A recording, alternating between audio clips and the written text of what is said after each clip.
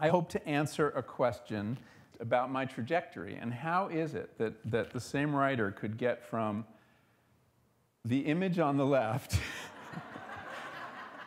to the image on the right. That's Alex Grey's uh, memorable painting of the, the stoned ape theory of the, how psilocybin led to human self consciousness. The path that, of someone's career really only appears as a path in retrospect. This is something we construct after the fact. Uh, I really didn't know where I was going. Um, the path of a writer is not like the path of a doctor or a lawyer. Um, it's, it's really crooked. Um, and uh, so this appears um, something you figure out after the fact, um, which only goes to show that you don't know on this journey which books you'll be grateful to have packed or where your curiosity will take you. Um, and that was another, this is another um, writing lesson I learned around, uh, along the way, which is that questions are more important than answers, um, and that a good question can drive a book from beginning to end in a way that answers don't always. Um, that questions lead to more propulsive writing, more sus suspenseful writing. Uh, it becomes indeed the difference between a speech and a detective story. So the, the question in this book was what I think of as the bumblebee question. And that was, it occurred to me, you saw me planting those, those weird looking, that was, uh, I was planting potatoes. And one day I was planting potatoes in my garden, and it was a beautiful day, you know, May in, in northwest Connecticut. And while I was planting potatoes, the bees were just avidly going after this apple tree that was in spectacular bloom. And I, you know, gardening doesn't take up that much mental space. It's one of the things I like about it. And um, it occurred to me, um, I wonder what I have in common with those bees. Um, you know, look what they're doing. They think they're getting the best of this arrangement with the, with the blossoms, that they're getting the nectar. Um, but in fact, they're being manipulated by those flowers to pay a visit in order to advance the interests of the, uh, of the plant. So who's in charge? Are the bees in charge? Are the plant in charge?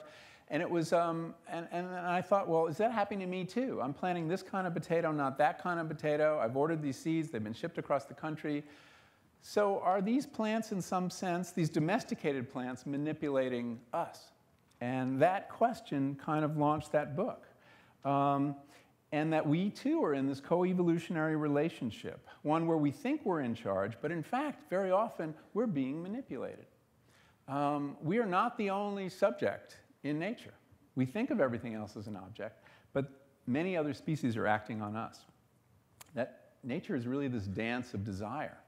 Um, and so I looked at human desire as a fact of natural history shaping evolution just like the climate does, or the soil, or the preferences of pollinators. I looked at four cases apple for the desire of sweetness, tulips and beauty, uh, potatoes, control, um, and cannabis, intoxication. Uh, and I try to use each of these plants as mirrors in which we could learn things about ourselves, because in the same way you can look at a flower and know precisely what a bee or another pollinator regards as beautiful or aromatic, you can look at the plants that have evolved with us and understand a lot about us. And that was the basic uh, conceit of the book. So among the desires I looked at at Botany of Desire, uh, and I'm returning to in this current project, um, was this very curious universal human desire to change consciousness. Um, the existence of which has been a very good thing indeed if you are cannabis sativa or um, uh, opium somniferum or a fungus like psilocybe cubensis. Um, one of the things plants do to animals for their own purposes is drug them. Uh, it was recently discovered that the nectar of many plants contains caffeine. Why? To make the pollinators better at their jobs, make them work harder, just as it does for us. Um, so, and there are many examples like that of, of plants drugging animals to get, th get things out of them. Um, so the evolutionary success of these plants depends on that desire of us, our abiding desire to change the texture of consciousness. So you sort of see, you know, you see that eh, my real interest, I mean, food is a, is a very important interest, but I'm also very interested in this engagement with nature that, that, that happens, you know, on our plates and, and in our homes. And it, it's always happening. It's happening right now with the microbes in your gut. And, um, and, and bringing this to light was, has always been what I, I, I'm interested in doing as a writer. And this issue of um, altered states of consciousness, it's another thing that plants do for us or mushrooms do for us. And why? What's in it for them? What's in it for us? Um, and what turned me on to this as a subject that it was time to do it was news of a remarkable trial that took place at Johns Hopkins um, and was published in the Journal of Psychopharmacology with this decidedly idiosyncratic title. Psilocybin can occasion mystical type experiences having substantial and sustained personal meaning and spiritual significance. Doesn't sound like a pharmacology magazine. Um, and what they discovered was that a high dose of psilocybin could be, could be used to safely and reliably occasion a mystical experience, which of course the psychologists have defined and have their 10 point, 7 point um, scale. Um, that the participants rank these experiences as among the most meaningful in their lives comparable to the birth of a child or the death of a parent. That was striking. Um, and the volunteers who had the most complete mystical experience by the scale showed significant and lasting increases in their well being and their openness to experience. And openness is one of the five uh, criteria of personality that, that psychologists measure. Um, and this quality of openness is a predictor of tolerance, aesthetics, creativity. And this effect lasted for months. Um, now, I've never had a mystical experience. I may, in fact, be spiritually retarded. Um, but suddenly I was extremely curious about the fact that a mushroom could have such an impact on one's, not only one's personality, but one's metaphysics. Because a lot of these people were not religious to begin with. So, what does that have to do with nature or food? Well, you've probably guessed. Um, the chemical responsible for these amazing effects in our brains is produced by a mushroom. Um, how did that happen? Um, uh, and it's kind of a food. Um, you know, the, uh, the, the, the Aztecs called the magic mushroom Teonanacatl, the food of the gods. But it's more of a sacramental food than a, uh, a staple. Still, something from nature that ingested changes us. So, what does it do for the mushroom? Well, the curious thing about it is that the chemical, the psilocybin or the psilocin, um, is not found in the mycelium, the underground part, which is the central part of a mushroom, the part that, that's the organism. The fruiting body, the mushroom, uh, is the only part that has it. And that's the part that the mushroom doesn't mind having eaten but, uh, and doesn't defend. Um, so it has something to do with animals who apparently like psilocybin too, um, and in our own time, it's been spread around the world by the human interest in these drugs. Um, and um, uh, so, anyway, I'm looking at the natural history of it. Um, and I'm looking at, um, and I was very surprised to learn that if you go back pre 1965, um, that there was a, a, a, kind of a golden age of research into both psilocybin and uh, LSD, and a lot of it, of course, took place here. But what happened here with Timothy Leary was the end of this process. He kind of screwed it up, and um, for reasons that make some sense, but before he, his antics, um, the, uh, uh, there had been a thousand peer-reviewed studies of LSD in the literature and 40,000 research subjects going back to 1950, and very uh, suggestive results. Um, that it could be useful for people who are dying and, and addicts and obsessives and depressives. And all this research is now coming back. The government has, has eased up and allow, is allowing scientists to study it. Um, and my guess is this scientific renaissance is going to teach us some extraordinary things about consciousness in the mind, about spirituality and religion, about creativity, and about this handful of mental disorders it's being used to treat. Um, the most interesting and the first was giving psilocybin to people who have terminal cancer diagnoses. Um, and this study was done at NYU and Hopkins, and I spent a lot of time interviewing the people uh, who had this experience, and it was fascinating. But I want to end by reading one passage uh, about one character uh, who I actually never got to meet because he died before I had a chance. Um, but his name was Patrick Mettes.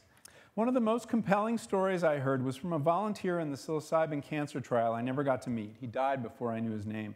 However, I did get to know him slightly through the words of his wife and therapist and the remarkable pages of his journal. Everybody is asked to keep a journal of their experience. Patrick Mettes was a New York journalist diagnosed with the cancer of the bile ducts that had spread to his lungs. As it happens, Patrick was almost exactly my age and had first read about the psilocybin trials in the same New York Times article I did. Though he had never before taken a psychedelic, he immediately called NYU to volunteer in their psilocybin trials. The experience he had there would change his life and his death. I first heard Patrick's story from Tony Bossis, one of the investigators in the psilocybin trial at NYU.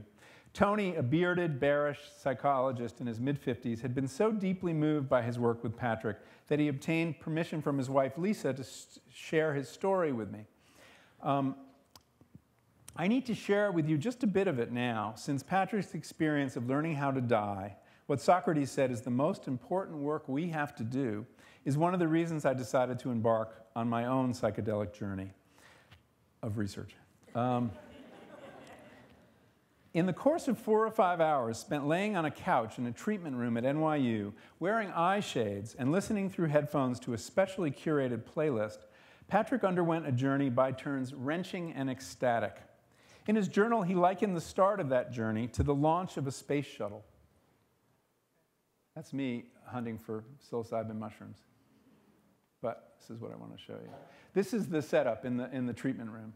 Um, and that's the therapist, the guide, and that's the volunteer. And that's the spiritual tchotchkes they put all around. Um, in his journal, he likened the start of that journey to the launch of a space shuttle, a physically, this is his words, a physically violent and rather clunky liftoff, which eventually gave way to the blissful um, serenity of weightlessness. Early on, he re experienced the trauma of his birth, but as both mother and child. Tony's session notes say Patrick drew his knees up to his chest, convulsed, and when it was over, began to cry softly, saying twice, Birth and death is a lot of work. Birth and death is a lot of work. And then, oh God, it all makes sense now. So simple, so beautiful. Mettes also took an internal tour of his body. I went into my lungs and saw two spots. They were no big deal.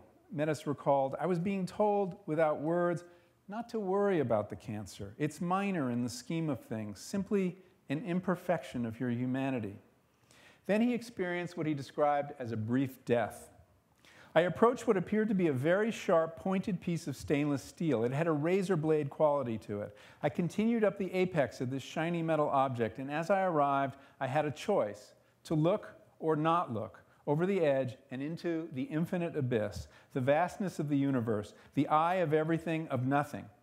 I was hesitant, but not frightened. I wanted to go all in, but felt that if I did, I would possibly leave my body permanently, death from this life. But it was not a difficult decision. I knew there was much more for me here. Telling his guide about the decision, he explained that he was not ready to jump off and leave Lisa, his wife. When Lisa came to pick him up after the session, Patrick looked as though he'd run a marathon, but also radiant. He told her he had touched the face of God.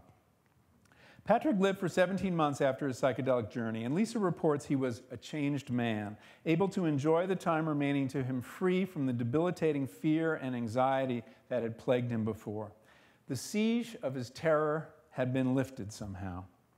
We still had our arguments, Lisa recalls, but Patrick had a sense of patience he had never had before, and with me he had real joy about things, she said. It was as if he had been relieved of the duty of caring about the details of life now it was all about being with people, enjoying his sandwich and the walk on the promenade. It was as if we lived a lifetime in a year. Mettes spent his good days walking around the city. They lived in Brooklyn. He would walk everywhere, try every restaurant for lunch, and tell me about all these great places he discovered. But his good days got fewer and fewer. In March 2012, he decided to stop chemo. He didn't want to die, she said, but I think he just decided that this was not how he wanted to live. In April, his lungs failing, Mettes wound up back in the hospital.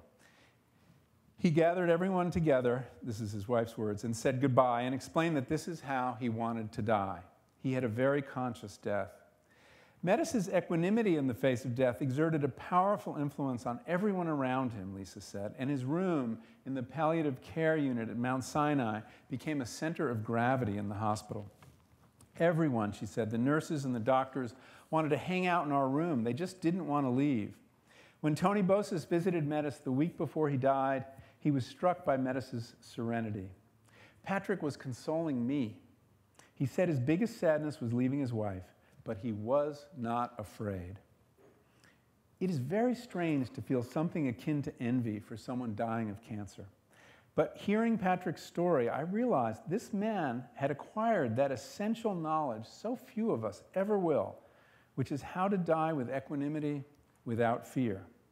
Somehow I didn't completely understand the mystical experience he had in that room at NYU, courtesy of a molecule produced by a mushroom, had showed him how to die. Thank you very much.